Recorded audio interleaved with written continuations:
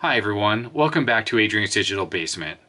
This is part two in my Commodore 64 Repairathon video series. If you haven't yet seen part one, I recommend you watch that first. I'll put a link to it up in the corner here and also in the video description below. In part one, we took a look at the tools I'm going to be using to help me diagnose these machines. And then we took a deep dive look at the first of four Commodore 64s I'm going to be working on. Unfortunately, after some quick troubleshooting, that machine had more problems with it than I was ready to work on at that point, so I set it aside and we'll fix that machine in an upcoming part. At the end of part one, we were just starting to look at the second machine, so let's get back to that right now. Okay, machine number two. it's missing a key. Uh, you know what? It's actually quite a lot cleaner. The case, top case looks good. Bottom of the machine, not so nice. I see it's got two screws in, missing the middle one. And otherwise, oh, I guess we got some broken clips because that side's not holding on. All right, let's crack this open. Okay, so both of those are just spin when you turn the screwdriver, which would imply that the standoffs are broken on the top. That standoff is still intact. I don't know why the screw is just spinning. Screw just fell out there. Here's a broken clip. That clip is fine, so we just have one busted clip. And this standoff here on this side is broken. And so is the middle one. That's why there was no screw there. It's funny, the top of the case looks pretty good otherwise. Oh, I almost forgot to label the case. So we're gonna call this machine number two. All right, hey, it's got all the chips. Oh, it has some sockets. That means this thing has been reworked as well. At least it has screws holding in the motherboard. Ah, look at this. There's a screw. It's just sort of lying right there on the motherboard. It's pretty much a good reason why when you get these computers, it's good to open them up right away because you just don't know what's happened to them and that, that screw could have easily shorted something out. So it looks like this is a the same revision board as my ZIF socket machine, which is good because if there's anything wrong with it, I can compare with the logic probe between that machine and uh, that works and this one. And from a socketed perspective, nothing is socketed except for the kernel ROM. And I'm sure that the VIC-2 is in a socket. And then of course there's two logic chips here. Okay, there's broken standoffs on the bottom because those are just spinning. It should just come out even though we still got some screws. Yeah, this, goodbye. Yep, we got broken standoffs. All right. Someone went through the effort of putting some sockets in and then they resoldered this uh, shield back on. You can see uh, these are the two sockets. They're white. Those are definitely not OEM. At least this machine doesn't have any of the MOS logic. There's another chip in a socket right here too, this uh, 7406. The RAM is Fujitsu. We got this ROM here that looks in a socket, but I think that could be original Commodore. The rest of this stuff, well, we'll see when we take the bottom off what's been reworked on this board. Goodbye. All right, let's get this shield off. These are easier to take off than the other ones. Oh, at least there was a little heatsink compound on the VIC chip there. Okay, what do we see when we flip this over? You know what? If anyone reworked this, they cleaned up after themselves because these two have had sockets installed and I I really don't see any evidence that anyone has worked on this board. Okay, so there's some cobwebs on here, but that's in a socket and these two plus this chip. Yeah, wow, that that just looks that just looks perfect. So whoever's worked on this if it was not done at the factory, if these weren't at the factory, they did a really fantastic job. There is no flux residue on the bottom. Okay, let's power this up, do some quick voltage checks on this. Nothing's plugged in, just the power supply. Got this here on volts, DC. So we check the 12 volt regulator here. 12.1. 5 volt regulator here. 4.94, we checked the, v, the VCC pin on one of the logic chips. 4.96, and we can check the voltage coming in from my power supply right there, 5.0. So things are looking good, and I'm just going to do a quick touch test, see if anything is burning hot. I mean, this thing might work, to be honest. Just everything seems okay. Caps are fine. All right, let's plug in the monitor and see what happens when I turn it on. No diagnostic cartridge inserted. Brown. Well, let's put in the uh, dead test cart, but I have a feeling that just could be a bad VIC chip. Okay. Okay, so we're getting flashing and it's going between red and white. So that does indicate that potentially there's a bad RAM chip as well. But the colors are wrong. That should be black and it should be a white flash. So let's take this VIC out of here and I will test it in the other one. I'm going to clean this heatsink compound off with the IPA. I do this because I don't want this junk to get on top of my, uh, get onto my my chip puller tool because the way it, it grabs the chip on the sides is some of the white stuff it's going to get on the gut on it. So, in fact, I'm just to put a little bit more and just get it off this edge here. All right, there we go. So, we just take this, make sure the power's off, which it is. Put this down onto the chip like that, pull up, chip comes right out. Easy as pie. While we're at it, let's remove the kernel ROM. Go kernel ROM out. So Dead Test doesn't use that, so I don't think that fault we're seeing there with the, the brown color is due to the kernel ROM. But if we're gonna have the other board out, we're gonna use my test machine. We might as well test it while we're at it. Okay, let's make sure this works. Okay, there we go, we got picture. So first off, let's test the VIC. Let's take out the known good one. Pop in the one I just yanked out. Here we go. Okay, so clearly the brown is not the VIC chip because it is working. Let's put a big check mark on there. And we'll check the kernel ROM while we're at it. Let's yank this one out. Okay. Oh, I was like, no picture. Yeah, I didn't put the VIC back in. There we go. So this is the kernel ROM from there. Oh, and that is a good chip as well. So check mark. All right, so back to this one. How strange that we're getting that weird screen. Uh, so what I'm going to do is I'm going to put the known good VIC back in here. A little DeoxIT. All the pins are fine. Boom, like that.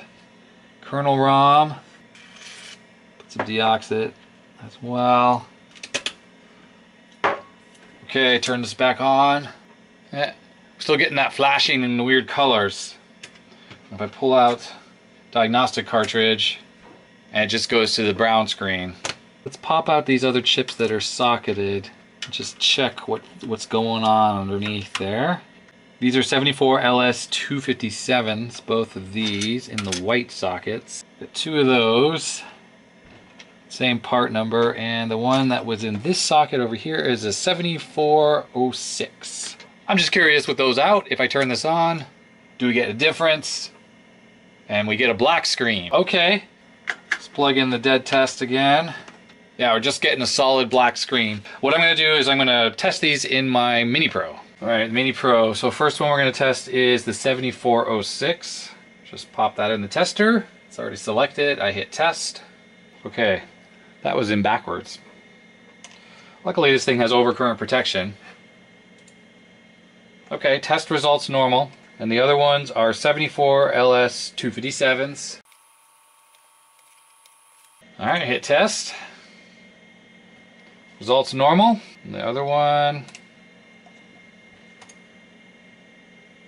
Results normal. Okay, so these chips are all working.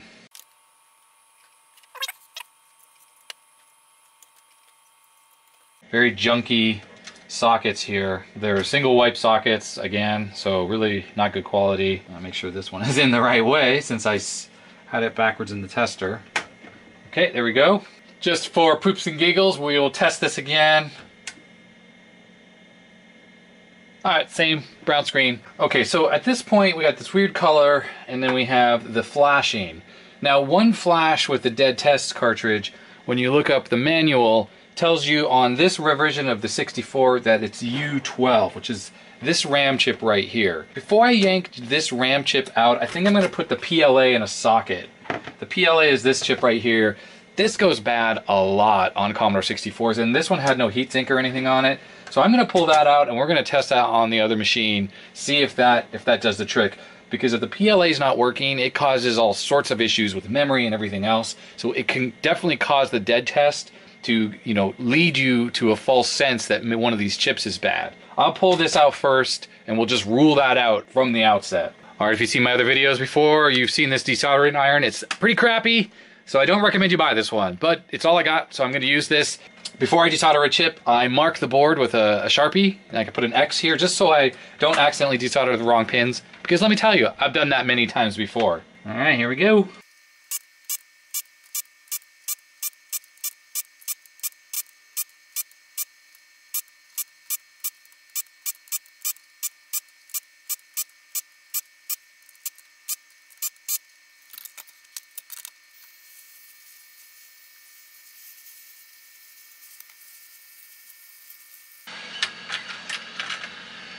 We go. That chip will be hot, so whoop.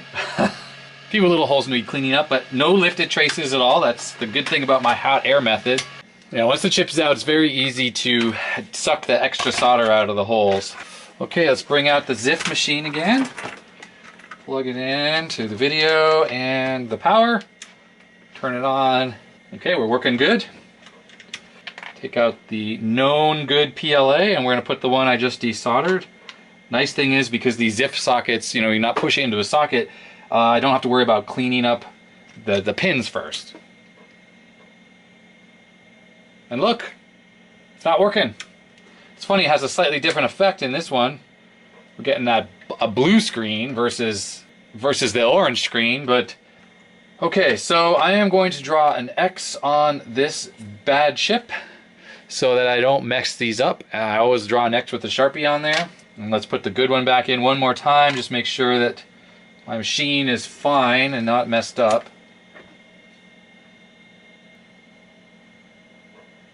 Oh, yeah, the dead test cartridge is in. and it takes a second before that comes up. So let's actually put that back in again with the X, uh, this is the chip with the X on it from the other machine. Let's put that in and let's just let it sit on the dead test screen for a minute because it takes what, like that was 20 seconds before, oh look, brown and blue, flashing one, exactly like the other one. All right, well that clinches it. That's bad.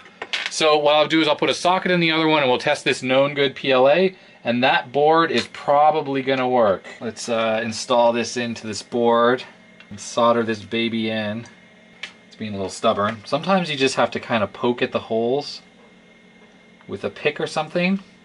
There's just a little like, I don't know, like what do you call it? A dag of solder, just a little blah, little piece of it left that might that might prevent the chip from go the uh, socket from going in easily. See, look at that. That's all I had to do. Okay, so my technique for soldering a socket, you solder one pin on each side, and then that way you can heat them up and push it back on the board so you know it's sitting flat. So get your soldering iron up to temperature. Don't solder more than one on each side. Okay, one on each side, and I think the socket kind of, oh yeah, it did. It like half fell out. So that's exactly why you don't do more than one on each side. So what you do is I'm holding it with my finger. Make sure you don't hold the metal contacts. And then you heat up the solder joint on one side and then you give the socket a nice push so you know it's sitting flat against the PCB. There we go, I did both and, and it kind of, I felt it move a little bit. Just give it a visual inspection, make sure it's sitting flat, make sure all the pins are looking good, make sure the orientation of the socket is correct, which it is. And now I'm gonna do the rest of the pins.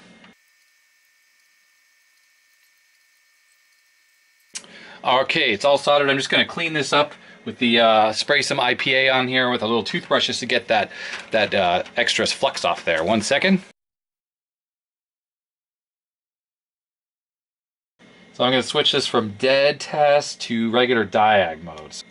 And this is the non-dead test, which means this needs the ROMs to be working, the, the basic and the kernel ROMs. Dead test doesn't require those. So we'll let this run through a little bit. Um, interesting is you'll see a few things that fail on here, and that's because I don't have the test harness hooked up. I don't even have a test harness. So without that, you're going to end up with bad on some of these chips and stuff. But you can ignore that. It generally is working. But to test to see if your two CIA chips are working, these two clocks down here that currently say 40 AM and 40 PM, both of the CIA chips have timers and can keep time, essentially time. And if there's something wrong with the chips, or the chips are missing, for instance, these will have garbage in it. Both of these times down here won't have correct times. But you can see both are counting up correctly 57 seconds, AM and PM. So that means that the chips are generally working. They may still have faults, but they at least are not totally dead. So I'm going to call this one fixed. So I'm just going to write with my Sharpie right on the RF modulator here, fixed. And that way we know that this one at least is one good board. I keep my dead chips in a little container here called dead parts. This dead PLA goes in here. All these other, lots of Commodores, lots and lots of Commodore chips. All of this stuff is stuff that I have fixed computers and found bad chips on, if you can believe it. Tons and tons of bad chips. So I stick it in here, that way it doesn't get accidentally reintegrated with any of my supplies. Okay, moving on to the third 64. This one is really heavy, which is weird. I don't know why it's so heavy. Maybe it has the metal shielding on it. It's in pretty good shape. It's got all three screws. Clips don't appear to be broken. The only thing that's happened is this uh, vent here is, is busted, but that could actually be epoxied. The rest seems in decent shape. Yes, it has a missing uh, number one key, but other than that, it's not too bad. Ooh, the screws are on very tightly.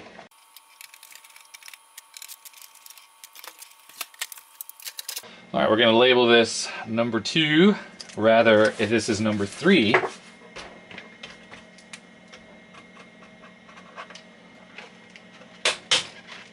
Ah yes, and the weight, metal shielding.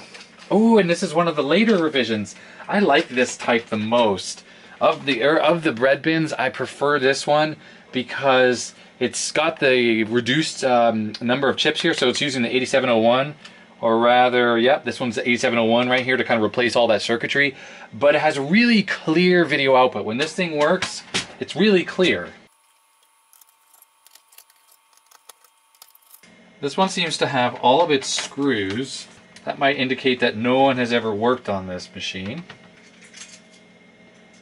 So again, this, this shielding stuff, I don't keep these. So yeah, th this has a thermal thermal compound on here because at least this heat sinks the chips to some extent, but I personally leave this off. And then I put heat sinks right onto the chips themselves because I think that does a lot better job. Look at Commodore. Look look at this. The the part that touches the chip is this part right here, and they put thermal, thermal compound over there. So the part that's touching the VIC chip doesn't even have any any thermal compound. So this was doing basically nothing for that particular chip.